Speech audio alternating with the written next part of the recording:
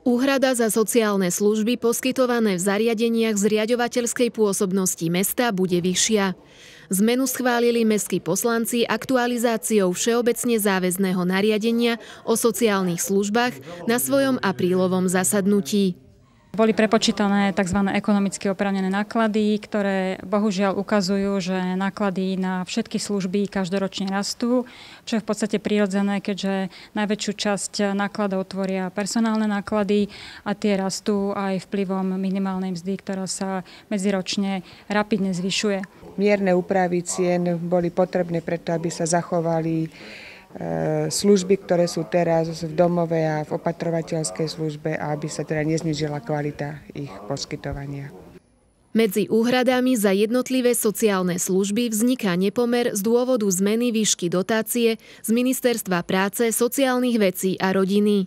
Tá závisí od stupňa odkázanosti klienta na sociálnu službu, pričom pri vyššom stupni odkázanosti je aj vyšší finančný príspevok.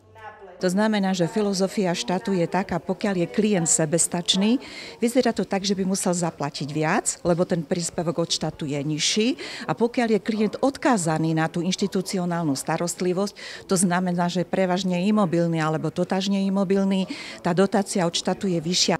V jednotlivých pobytových službách došlo k zvýšeniu poplatkov za ubytovanie, stravovanie a doplnkové služby priemere to znamená, že e, v domove e, služba v zariadení pre seniorov vzrastie asi o 30 eur mesačne. E, takisto nám vzrastie služba v dennom stacionári, kde máme položku počítanú na deň.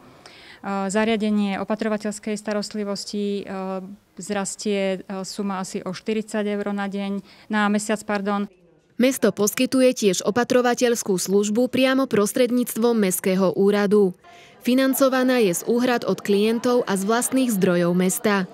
V roku 2018 opatrovateľskú službu poskytovalo v priemere 33 opatrovateľiek 98 klientom mesačne.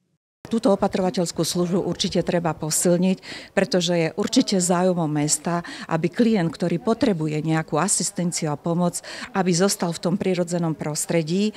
Samozrejme, aby sa neotvárali nožnice, že klient bude platiť viac a viac. V posledných rokoch sme zaznamenali veľký nárast záujmu o túto službu, čo znamená každoročne zvyšujúci sa počet poskytovaných hodín.